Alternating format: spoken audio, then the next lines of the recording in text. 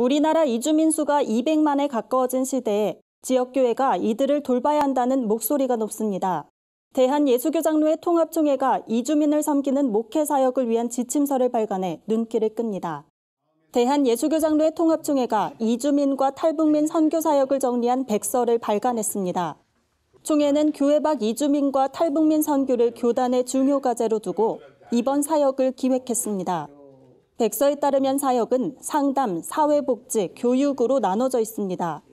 이주민을 위한 쉼터 사역, 모국의 가치 발견, 정체성 회복, 밥상 공동체를 통한 결혼 이주 여성들의 삶 치유가 대표적 사례입니다. 이번 사역의 최종 평가단은 이주민 선교를 위한 교재 개발 매뉴얼 작성을 가장 큰 성과로 봤습니다. 향후 이주민 선교에 지속적으로 사용될 수 있기 때문입니다. 참가 기관인 더불어 함께 이주민센터 이학산 목사는 이번 사업 지원은 오랜 가뭄 끝의 단비와 같았다며 덕분에 사역에 대한 갈증이 해소됐다고 말했습니다.